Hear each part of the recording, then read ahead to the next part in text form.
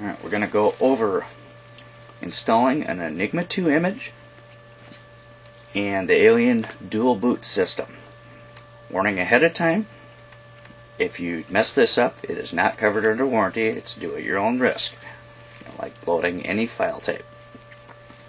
Uh, the other note is you're going to want to get a Kingston USB flash drive formatted to FAT32. I found out in the European forums and from trying a bunch that these are very picky.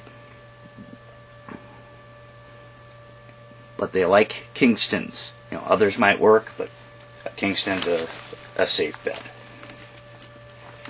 Your Enigma 2 image, when you download it, is going to have a folder when you uncompress it called Enigma 2. Copy that folder and the contents to the root of your flash drive. Should be like uh, two files, the image and something else inside that Enigma 2 folder. Get it all over there. Now, what you'll do is you'll plug in your flash drive directly to the USB port on the Alien. Don't use the hub for this. Flip down the front door. Then, oh, the other thing I forgot to note. Make sure it's off the back switch. You want to press the OK key. Hold it down while you flip the back switch.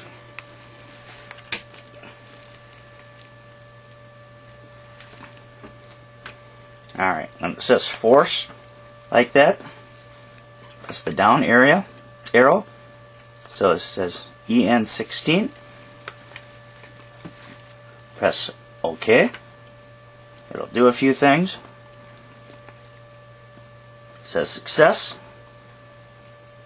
Flip it off with the back switch. Now it's set to boot to Enigma 2.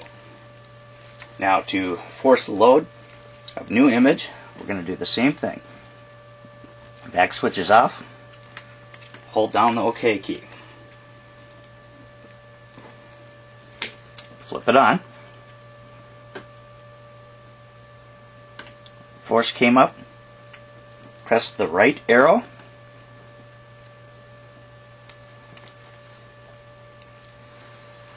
The load's going to start. It's going to give you a whole bunch of weird numbers and uh, messages. It will reboot itself when it wants to and eventually load your Enigma 2 image. This takes a while, so go get a, a drink or do something else and just let it do its thing. Don't turn it off while it was loading the image. You'll pretty much know when it's done, assuming you don't get stuck in PAL mode, because your TV will, will display the the welcome screen with setting your, your language and your resolution and all that. Finally, here's how you switch the dual boot between Enigma and Spark. Have the back switch off, flip down the door. Hold down the OK key, flip the back switch on.